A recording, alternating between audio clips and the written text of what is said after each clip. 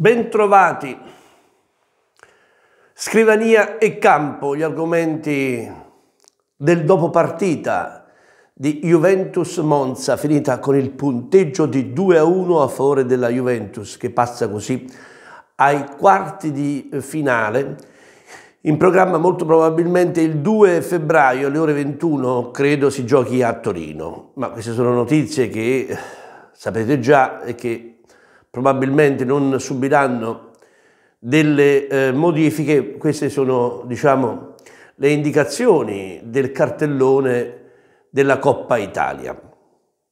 Detto questo, vi ricordo che si gioca ogni tre giorni praticamente, perché poi dopo il turno di Coppa Italia ci sarà il turno di campionato infrasettimanale, ci sarà la Europa League contro il Nantes, cioè siamo praticamente a ridosso dei copiosi eh, appuntamenti che riguardano la Juventus. La partita è eh, diciamo la scrivania, la scrivania mi riferisco al cambio, in tanti mi stanno domandando io cosa ne penso, avete visto che ho fatto un lungo silenzio rispetto alle novità del giorno 18, quando il Consiglio di amministrazione ha ratificato i suggerimenti, le proposte della Exor, scontate naturalmente, con l'insediamento del nuovo Consiglio di amministrazione e quindi con il nuovo Presidente, che è appunto Gianluca Ferrero, il nuovo direttore generale e amministratore delegato che è Maurizio Scanavico, praticamente i due non capiscono niente di calcio, è bene che noi lo sappiamo, eh, attenzione, non stiamo parlando di un Andrea Agnelli che ha fatto una gavetta nel calcio strepitosa, eh, in parallelo co con i suoi studi e soprattutto eh, molto giovane. Qui stiamo parlando di due grandissimi professionisti, ma che di calcio sanno poco e niente. La mia preoccupazione, ve lo dico subito, è una preoccupazione, naturalmente io faccio il tifo per loro, eh, perché eh, come vi dicevo l'altra volta io non ho mai, anche nei momenti peggiori, eh, diciamo, contrastato la casa madre, sono più umbertiano, lo sanno tutti quanti, io sono umbertiano, però adoravo il, eh, Gianni Agnelli, per cui i vertici della Juventus non si discutono, si amano perché loro sono i eh, primi ad amare la Juventus. La preoccupazione se non c'è uno di famiglia, come nella parentesi, ehm, eh, la parentesi relativa a, eh, come dire, a Cobolli Giglio, Blanco e Secco, eh, o diciamo la paura che non essendo di famiglia pensano più ai conti che al cuore e nel calcio ci vuole il cuore, ci vuole il tifo, ci vuole eh, la gioia di vincere, non soltanto di fare bene i conti.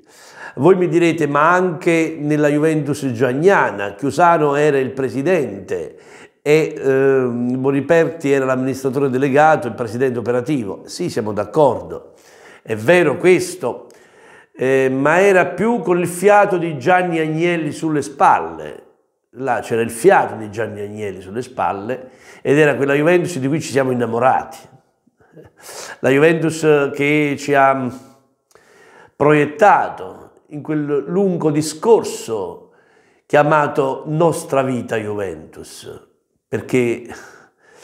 quando ci si innamora poi dei campioni, della storia, della Juventus, della casa madre, difficilmente il distacco può venire, difficilmente eh, questa, eh, diciamo, questo attaccamento viene tolto da, da dosso, noi ce l'abbiamo sempre addosso, eh, siamo juventini malati di Juventus e quindi eh, inutile dire che eh, che eh, mi suggestiona questo fatto, mi emoziona perché quando si parla della Juventus, della storia della Juventus, parla, vado in tilt praticamente perché eh, non riesco ad essere terzo, non riesco ad essere equilibrato, anche se rispetto alle accuse mm, c'è un mio equilibrio, un mio equilibrio perché parto con la condanna, poi mi accorgo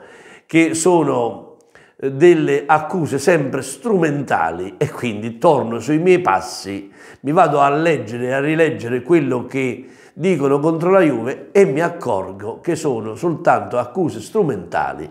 È capitato sempre così, è sempre così, dal campo alle intercettazioni, alle accuse sui bilanci, perché loro partono dal campo e quindi partono dall'arbitro venduto alla Juventus, la Juve dalle macchine all'arbitro negli anni 70, eh, negli anni 80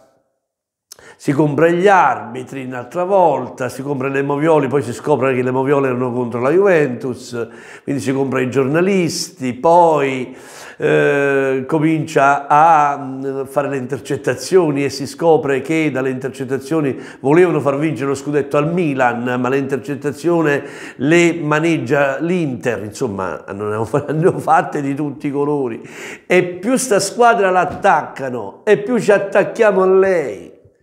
perché è così, perché è un figlio quando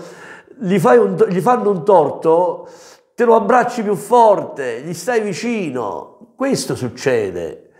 perché noi siamo eh, consapevoli della forza eh, e dello stimolo che ci dà questa squadra e naturalmente soffriamo quando poi eh, eh, vediamo che è allenata da uno come Allegri che davvero con la storia della Juventus non c'entra proprio, ma proprio niente, e quindi questa squadra di costruzione, di impeto, di grande impatto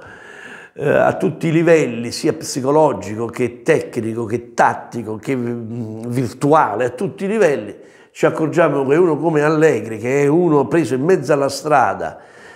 che se non avesse fatto l'allenatore non avrebbe potuto fare niente, e allora qui si dice, è, è lì il, la pena. Guardate, oggi la Juventus deve difendersi dalle accuse che vengono rivolte attraverso la giustizia sportiva e la giustizia ordinaria, non sono un problema quelle accuse, perché la Juve è pulita, lo sappiamo tutti quanti. Il problema non sono gli eventuali processi, ancora nessuno, che la Juve andrà a fare, il, le, I problemi sono relativi ad Allegri, alla presenza di Allegri. Il vero problema della Juventus è Allegri, perché poi è il campo quello che ci interessa, perché nelle sedi opportune saranno gli uomini deputati a, a, a, difenderla la Juventus, come ha detto appunto il Presidente al, al momento del suo insediamento. E qui, eh, qui, il problema è Allegri. E andiamo appunto al, al, al, nuovo establishment della Juventus, fatto di questi signorotti, in senso buono della parola, attenzione, eh, che dovranno guidare la Juventus, che hanno per il momento un contratto triennale a pochi migliaia di euro al mese, quindi non è una, una, un esborso, non arrivano nemmeno a 50.000 euro a testa, senza i rimborsi spese, però vi ricordo che loro non hanno solo la Juventus, la Juventus per ognuno dei cinque del Consiglio di amministrazione è soltanto una piccola eh, parte, un piccolo incarico. Non è come Andrea Agnelli e Pavel Nedved che stanno l'H24, no. Loro stanno lì, eh, diciamo, sulla scrivania uno o due volte alla settimana quello è tutto. Eh, non c'è un'assistenza alla squadra totale, questo mi preoccupa. Ecco perché io spero che al più presto venga nominato un uomo di campo, un direttore generale che possa fare scrivania campo, scegliere i suoi uomini e pilotare la squadra, perché se noi siamo nelle mani di Cherubini e Allegri siamo inguaiati è altro che la gente si deve avvicinare, inguaiati, è altro che la gente si deve avvicinare, come dice il presidente nuovo, la gente deve avvicinarsi ma con uomini anche di un certo spessore, mica ci si può presentare con un frontman di Cherubini Allegri, con tutto il rispetto per Cherubini, nessun rispetto per Allegri, che io non ho rispetto di uno che si prende 9 milioni al mese, per non dare niente alla Juventus e per distruggerla. Allora eh, io spero, auspico che al più presto ci sia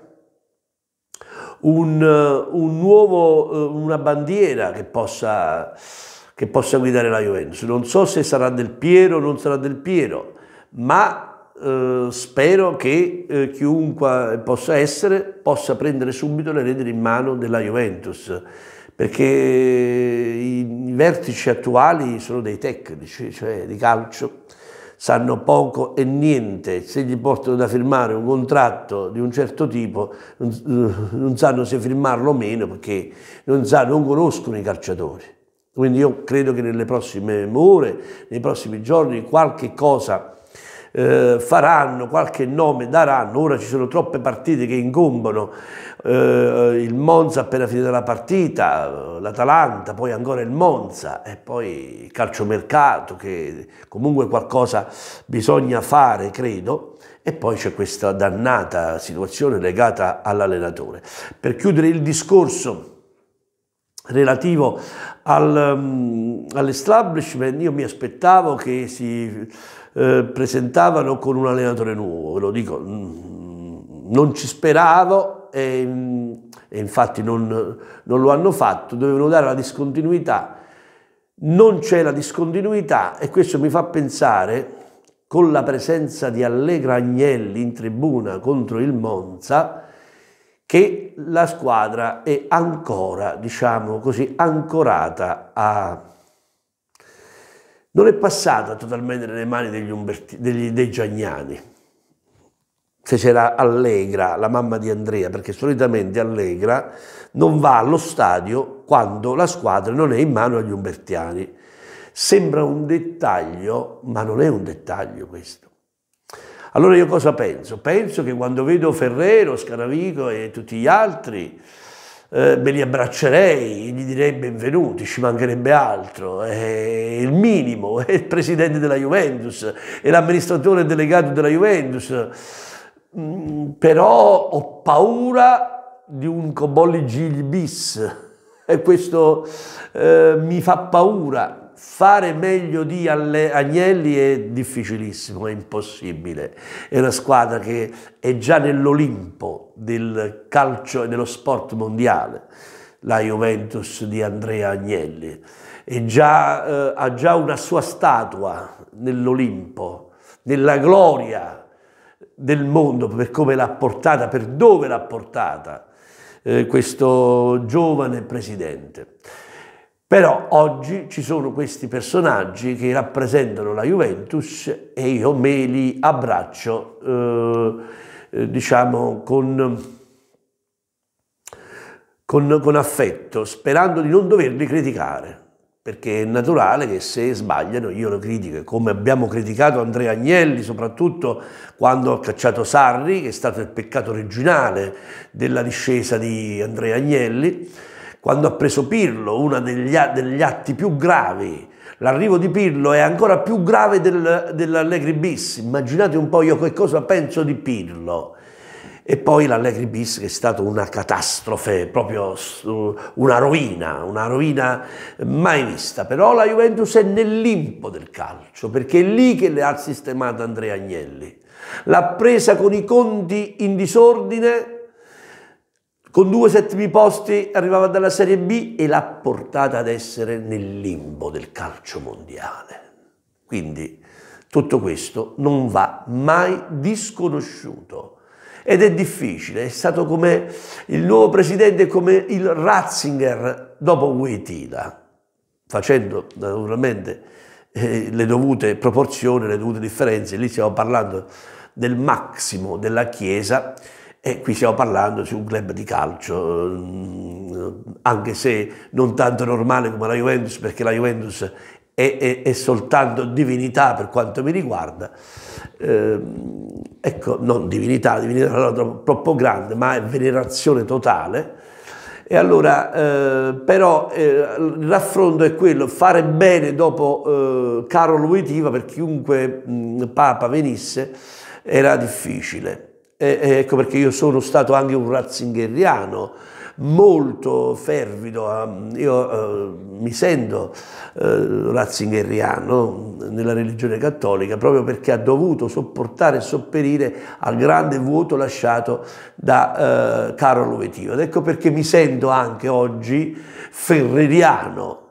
eh, perché oggi Gianluca Ferrero va a prendersi un, un, un malloppo grosso di responsabilità perché fare meglio di Andrea Agnelli, il big dei presidenti, il presidente dei presidenti, il più vincente tra i vincenti, è molto difficile. Ecco per questo dico a eh, Gianluca mm, eh, Ferrero e tutti coloro che sono arrivati nuovi, benvenuti e speriamo che possiate fare il meglio. Intanto cacciate Allegri, ma so che non lo farete per il momento, però ci scherziamo anche un po' su. La partita di Coppa Italia è stata una partita molto molto difficile,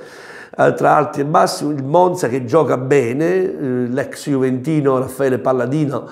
fa, la fa giocare molto bene, gli ha dato una fisionomia, gli ha dato una, eh, uno spessore tecnico e tattico molto elevato, ha una rosa molto limitata, come avete potuto vedere. La Juventus che cosa ha fatto? Ha presentato le seconde linee insieme ai ragazzi della Next Gen e questo è molto molto grave perché si fa il male di questi ragazzi, non si fanno crescere. Io invece credo che bisogna puntare sui ragazzi della next gen, ma collocarli a uno o due alla volta in campo, cioè farli giocare all'interno della squadra titolare, magari in alternativa ai titolari.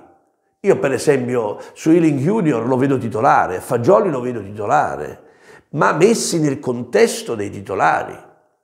Cioè, diciamo che sono, la Juventus dovrebbe avere 22-23 titolari e loro ci sono, ma metterli tutti quanti insieme e riproporre ancora Miretti 39 palloni, eh, 41 palloni mh, mm, eh, scaricati, 36 o meglio 35 agli avversari. Rivedetevi la partita e vi faccio vedere, questo è un giocatore raccomandato. Ecco, la nuova dirigenza dovrebbe consentire che la questione Miretti non venga più riproposta. Miretti è scarso, guardate. La Juve gioca uno in meno. Mi arrivavano sul telefonino, vista la mia crociata anti-Miretti, tantissime email durante la partita, hai ragione su Miretti, hai visto bene su Miretti, hai, hai, uh, Miretti è scarso, mi, sta, mi, arrivato, mi sono arrivate tantissime email uh, sulla posta elettronica, sul telefonino, eh, eh, ma non è che ci vuole la zingara per vedere che quello è scarso, quello è scarso, è inutile che ci giriamo intorno. e la Juventus come ha giocato? La solita Juventus, senza né capo né coda, che si basa sui singoli, Devo dire la verità, è partita benissimo la squadra, con Ealing Junior che era un indemoniato sulla sinistra, l'ho scritto su tutto juve.net, potete leggere, fra qualche ora vi farò anche le pagelle, riprendiamo con le pagelle, e ehm, praticamente eh, un kin altrettanto stabile, po' sprecone, però preciso, e questo è uno che se gioca dall'inizio segna sempre i gol. Oggi ne ha segnati due, uno gliel'hanno annullato, era da annullare però, quello lì era da annullare e, eh, e, poi McKenny che è partito bene e poi è arrivato, eh, eh, si è spompato durante la partita, però all'inizio la Juve con Ealing Junior va eh, al cross e eh, poi Fagioli sbaglia il gol porta vuota, poco dopo McKenny eh, invita al gol Keane, colpo di testa appunto di Keane e gol. Poi loro pareggiano su un calcio da fermo, un calcio d'angolo e ehm, la Juve va in barca, la partita si regge, un po' attacca la Juventus e un po' attacca il Monza, la differenza eh, di classifica non si vede, perché quando c'è Allegri sulla panchina, anche se era in tribuna nella fattispecie, non si vede mai. Nella finale di partita hanno fatto i cambi, per carità hanno messo quell'Alexandro che è entrato in partita in maniera devastante, guardate, ha giocato un calcio penoso, ha dato una palla verso il calcio d'angolo in orizzontale all'Arthur eh, invece di verticalizzare eh, e poi ha segnato prima a Keane, gli è stato annullato appunto, poi ha segnato a Chiesa quel gol meraviglioso, uno slalom eh, strepitoso, eh, lo trattenevano, cercavano di fargli falle, lui con una forza prorompente, proprio nel suo, nella sua proiezione di campo, quella nel quale è più ispirato, perché lui non è tanto ispirato se lo metti vicino alla bandierina del calcio d'angolo a destra o a sinistra, lui è ispirato se gioca negli ultimi 30 metri ma a, eh, a suo piacimento. E così è stato. Quando ha giocato dietro la punta, nella fattispecie era Kin, lo ha fatto in maniera eccezionale e ha fatto quel gol bellissimo che poi ha sbloccato la partita. Poco dopo la Juventus poteva ancora segnare con quel dannato di Di Maria, bello e dannato, dobbiamo dire, bello come calciatore, non come uomo che fa schifo, è bruttissimo, a parte questo,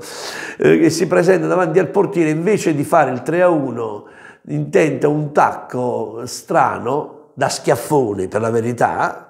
e il portiere para. E se il Monza avesse pareggiato, bisognava cacciarlo a calci nel sedere. Però Di Maria rappresenta una grandissima risorsa per questa squadra, sperando che lo fa giocare al proprio posto e non dietro le punte, non, la, non una punta, perché non è né un trequartista né una punta.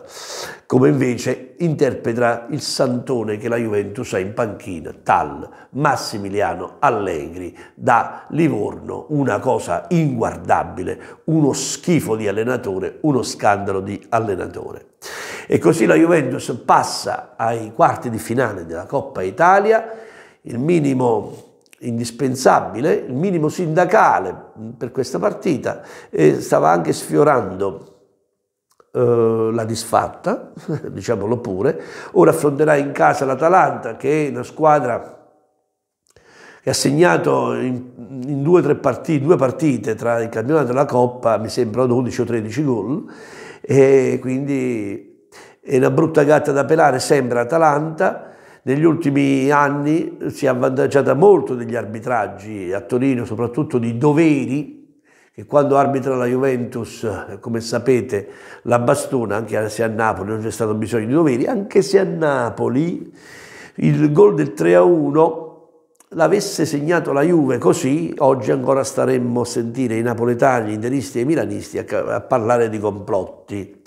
Perché se Maresca ha fatto uh, l'espulsione di, di, Maria a Monza, non vedo perché non andava espulso Osimen su uh, Locatelli, ma nessuno parla, nessuno proferisce parola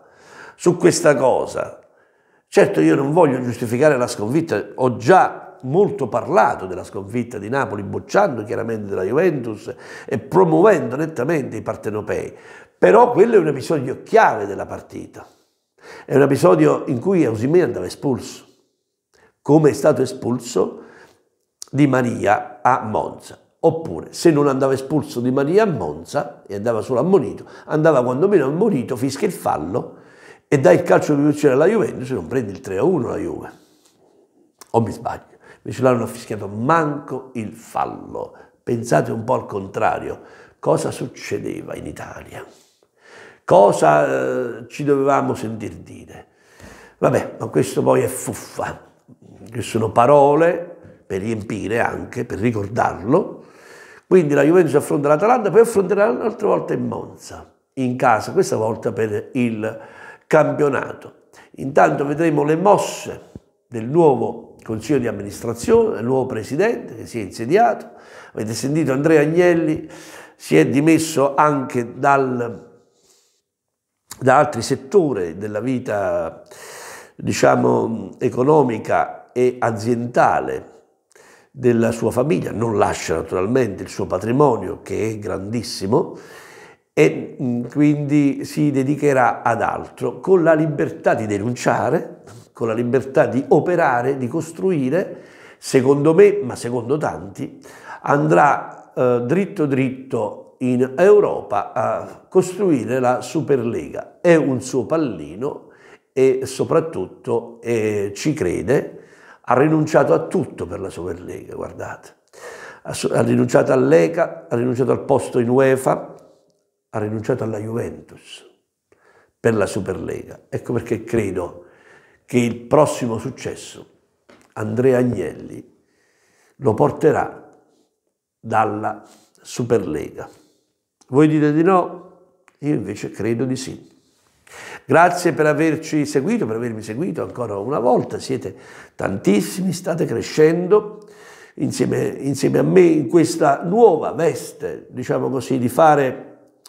eh, opinione come quella che sto cercando di fare io, in tanti anni di televisione l'ho fatta, sto cercando di imporla anche al nostro pubblico, a quello che segue eh, qui anche su YouTube, una piattaforma che io non conoscevo fino a qualche mese fa e che mi sta appassionando perché mi consente di dire tante cose, di fare tante cose, ma anche di poter essere diciamo, libero di esternare le mie opinioni come voglio. Intanto vi invito ad iscrivervi al mio canale YouTube, Sergio Vessicchio, a eh, lasciare un like, scusate se ho detto delle cose giuste, altrimenti mettete, eh, mettete il, il pollice verso, oppure non fate proprio niente, commentate se ritenete opportuno farlo, sempre in maniera civile, sempre mantenendovi in argomento perché in tanti li sto prendendo a calci nel sedere, se ne vanno, come vengono così se ne vanno, o che siano tifosi della Juventus o che siano anti-juventini, perché io voglio la correttezza in primo luogo. E poi naturalmente i frustrati, beh i frustrati ci sono sempre e sono soprattutto eh, coloro che eh, vivono loro malgrado all'ombra dei successi della Juventus e ma questa è la loro condanna. Grazie a tutti quanti voi per averci seguito, appuntamento al prossimo video.